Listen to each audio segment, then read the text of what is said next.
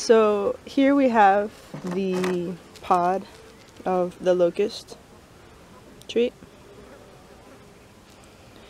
And we're going to break it open to get the seeds out. And I use a spoon to help me instead of a knife because I would surely cut myself. And so any method you can to dig the seed out. And you would end up with these. Which you would then put into a container. And pour near boiling water over them. Just the first time. And then you would let that cool and you just wait some days. Uh, I guess that varies but I think it was about a week or so.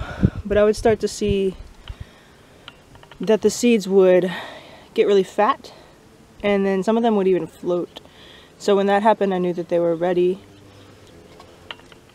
I did a kind of an experiment these were just seeds without boiling water and these were seeds with boiling water. You can't really see them, but there's a big difference. This one is actually already sprouted inside the water.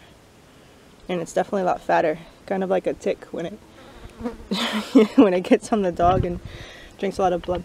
And so when it's like that, then you would just you would have your soil prepared and make a little hole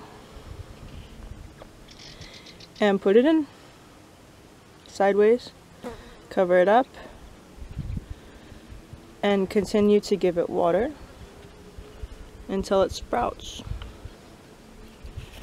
So this is uh, one that's already been around for a few weeks.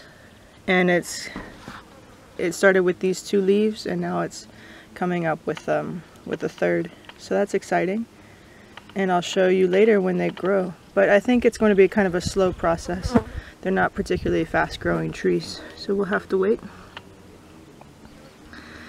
Uh, one thing I didn't mention is that you can take this part and grind it into a flour, which you can use. It's really sweet, mm-hmm. and you can use it for baking. We put it into breads and, and cookies and things, so it looked like a little bit like this. Mm-hmm. And another fun thing, if you have dogs, would be to be generous. And we're gonna let our special invite out. Titi!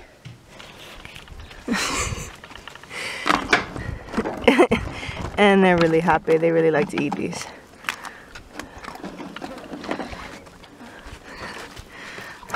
so there you go.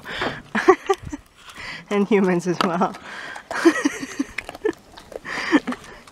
okay, have fun.